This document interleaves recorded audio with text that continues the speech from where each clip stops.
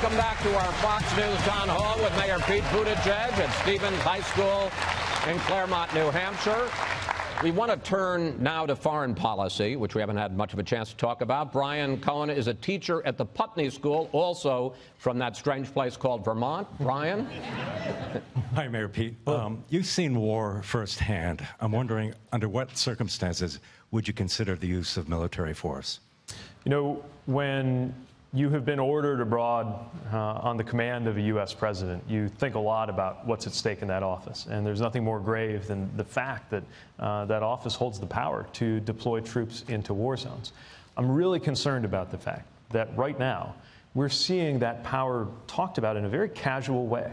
First, there was saber rattling, a suggestion that we would send troops to deal with Venezuela, which, as horrible as the situation is there, is not one where I see U.S. lives at risk. Uh, and now you see the same thing or something different, but uh, that same kind of saber rattling with Iran. Uh, by the way, reportedly engineered by John Bolton, who was one of the people who built the war in Iraq.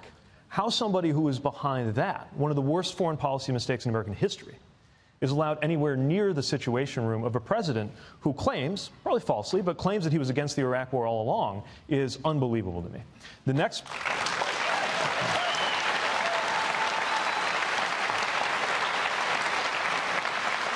The next president will have two major jobs overseas. One of them is just establishing U.S. credibility again. But the other one is setting a bar, and I believe it must be a higher bar than we've had so far, on what it takes for troops to be deployed overseas, especially unilaterally.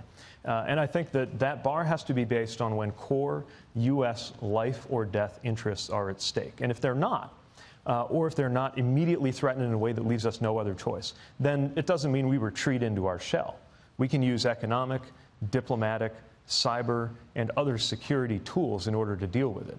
But you do not send young men and women into war when there's an alternative. Mayor, let's let's talk about this a little. You gave us a kind of overview there, but but yeah. from your six seven months on the ground in Afghanistan, what is the biggest lesson? A, maybe it's a little one, but, but you know, a, a, specific one, but the biggest lesson that you would take into the Oval Office should you become Commander in Chief? Well, uh, one of the biggest, actually, is aside from the foreign policy and security matters, is just the experience of coming to know and trust Americans who are completely different from you.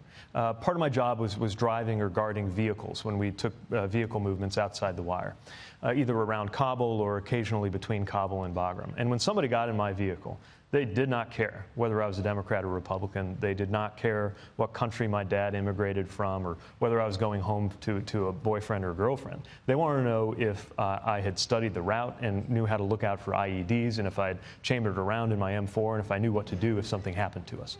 And that kind of trust that we built. People of different ages and races and definitely different political views. Uh, some of the folks I served with might be watching right now.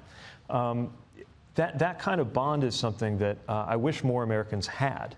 But I don't think you should have to go to war in order to have it. It's one of the reasons why I think national service, at a time like this where we're so fractured and divided, would do a lot of good. Yes, military, but perhaps also more opportunities in the Peace Corps or AmeriCorps, different service year opportunities that young people can have here in the U.S. to thicken the fabric. The other thing that I learned while I was abroad is even during these challenging times, at least this, my deployment, of course, was before this presidency, but um, how much respect people have for our country. I really could feel that when I walked into a room, especially on a on an ISAF headquarters base where you had people from every uh, country in our coalition, that, that that flag that was on my shoulder represented a country that was known for keeping its word. E- even our enemies viewed us that way. And however imperfectly we've upheld our values, I could feel how important that was uh, to our safety, as important as my body armor. And when I read reports that the president is considering pardoning or even preemptively pardoning war criminals, even after they have been tried by a jury of their peers, meaning that other U.S. service members in a legal proceeding determined that they had committed crimes, that is undermining the foundation of American moral authority. And I think in the long run, that is putting troops at risk. All right, let's get back to some questions. Sethu, and I hope I get this right, Sethu Odeapin Did I do okay on that, Say Yeah, that's pretty good. Okay. It- well, listen, it took me a long time for Buttigieg, so I can relate. Fellow member of the unpronounceable he is a student club. who will be voting in his first election in 2020. Right. Seitu, your right. question. Hi, Mayor Pete. Um, as a student entering college next year, my question is how are you going to address the student debt crisis that affects so many of us? Thanks. Thanks for raising that. Are, are you attending here in New Hampshire? Or do you know yet? Or? No, I'm attending Harvard next year. Oh, okay. All right. Good stuff. Uh, so, look, college affordability is reaching crisis levels now. And uh, this is a personal issue for us because uh, our household, household has six figure debt right now.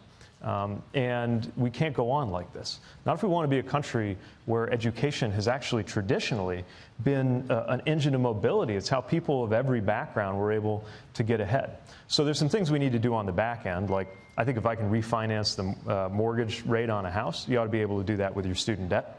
Uh, and I think we ought to have more. Uh, yeah.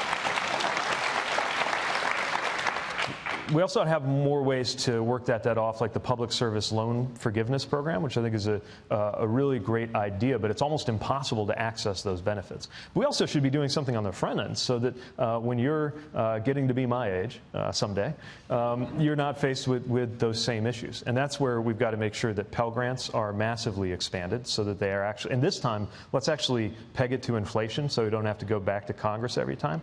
We've got to work with states, and I'm afraid New Hampshire uh, is among the, uh, the one where the state does the least to keep college costs under control, but it's happening all over the country. So we've got to work with the states and press them uh, using a kind of carrot and stick approach from the federal government uh, in order to make sure that uh, they are carrying enough of the load that it doesn't all come down on the students. And then we've got to look at those other opportunities uh, that make it possible for students through things like service uh, to be able to get whatever debt they do emerge with, which I think should be zero if you're a low or middle income student. I'm not prepared to promise that for the child of a billionaire going to any school, but I do think for everybody, uh, if you have any college debt at all, there should be opportunities to have that reduced or waived based on things like public service.